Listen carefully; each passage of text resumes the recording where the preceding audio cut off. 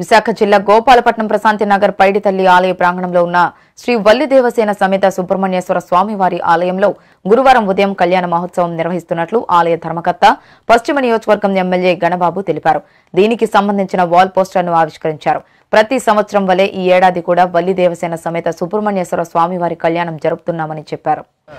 ముందు రోజు ఎనిమిదో తారీఖు నాడు పుణ్యాహవచనం గణపతి పూజ అంకురార్పణ మొత్తం ఈ కార్యక్రమాలన్నీ ముందు రోజు చేస్తాం. అలాగే తొమ్మిదో తారీఖున ఉదయం నాలుగున్నర గంటల నుంచి అభిషేకం తర్వాత పది గంటలకి కళ్యాణ మహోత్సవం మధ్యాహ్నం పన్నెండు గంటల నుంచి అన్న సమారాధన సాయంత్రం ఆరు గంటలకు ఊరేగింపు మరుసటి రోజు మళ్ళీ ఉదయం మంగళ స్నానాలు చక్ర స్నానాలు చేయడం జరుగుతుంది. అక్కడితో ఈ కళ్యాణ మహోత్సవం పూర్తవుతుంది. జన భక్తులందరూ కళ్యాణంలో పాల్గొని స్వామివారి ఆశీస్సులు తీసుకుంటారండి. అందరూ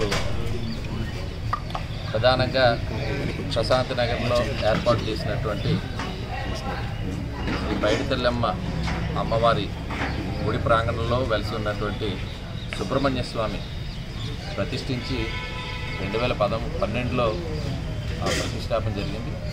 అప్పటి నుంచి నిరంతరాయంగా ఈ షష్ఠీ కార్యక్రమం డిసెంబర్ తొమ్మిదవ తారీఖు సుబ్రహ్మణ్య షష్ఠి ఇప్పుడు ఘనంగా నిర్వహించేటువంటి ఒక బృహత్తర కార్యక్రమం తెలియజేయడానికి ఇవాళ గ్రామ పెద్దలందరూ కూడా సమావేశం అవడం జరిగింది.